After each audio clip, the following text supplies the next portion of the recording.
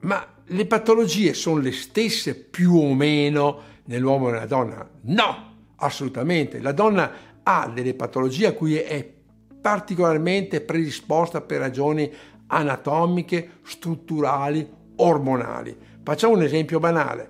La colite la pancia gonfia è molto più specifica della donna che ha una sua emotività, ha una sua tendenza a somatizzare molto maggiore rispetto all'uomo. La donna ha una maggiore predisposizione all'osteoporosi, perché? Perché parte geneticamente con un osso più sottile, quindi quando poi pian piano nell'età si perde osso, arriva più facilmente all'osteoporosi.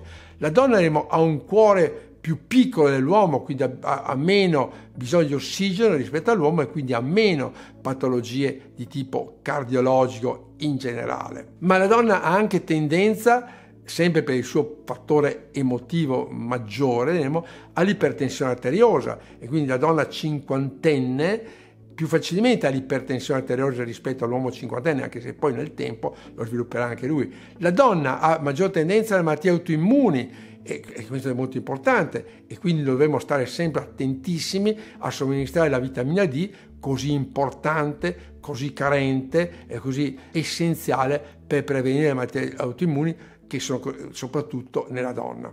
La donna è particolarmente predisposta a patologie urinarie, la cistite è tipica del sesso femminile e quindi la pulizia vescicale è molto importante nella donna, per esempio col dimannosio. In questo libro molto importante, questo piccolo libro in, si, in cui si parla di come si approccia il paziente, qui si parla delle differenze tra di età, di sesso, di costituzione, queste sono le analisi di laboratorio importanti per questo paziente per, di questo sesso di questa età. Le troviamo in questo libro. Questo libro molto molto importante che ci aiuta a a capire le differenze della patologia e nella fisiologia a seconda dell'età, del sesso e della costituzione.